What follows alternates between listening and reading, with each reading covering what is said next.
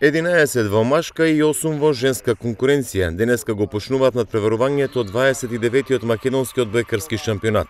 Струмица 47-72 и Јанта Воли Кисела вода го брана тронота, неколку нивни конкуренти, главно истите од лани, ќе ја задржат амбицијата да ја освојат титулата. Во премиерната рунда кај мажите, актуелниот вице-првак Универзитет Тетова го пречекува составот на Штип Угада, а саботата двојна програма во градот под Шара почнува и со пресметката на Шкендија и Дибраволе.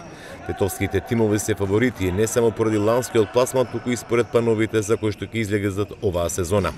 Вардар кој лани беше полуфиналист, но без никакви шанси за нешто повеќе, новиот прволигашки пат ќе го почне против Лирија на свој терен. Македонија Джио, дебитантот, ке гостува кај Јан Воле, а најрамноправен се очекува да биде дуелот меѓу Борец и Весна Пробиштип кој што ќе биде на програмата в понеделник. На отварањето на сезоната ќе нема активност актуелниот шампион Струмица, кој што од сега ќе го носи името Струмица 47 и 72.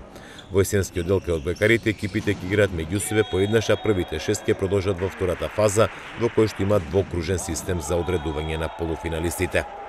Кај дамите дербите е меѓу ланските полуфиналисти. Струмица жени работнички Скопје, овие две екипи со квалитет да конкурираат за врвот на сезонава, а победа во првиот надпревар ќе значи голема самодоверба пред вовидниот дел во кој што ќе игра според принципот секој со секого дома и на гости. Значи ги има вкупно 14 кола. Актуелните шампионки од Јанта Волеј Кисела Вода ќе се соочат со Фитфан Волеј.